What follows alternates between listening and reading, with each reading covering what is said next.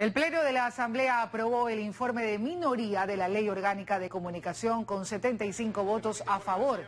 La bancada de UNES, los disidentes de Pachacutic y de Izquierda Democrática apoyaron el proyecto. La bancada oficialista califica al nuevo cuerpo legal como una nueva ley mordaza, antitécnica y regresiva en derechos. Horas antes, el legislativo negó el informe de mayoría aprobado en la Comisión de Relaciones Internacionales que incluía el proyecto de ley de comunicación enviado por el presidente Guillermo Lazo.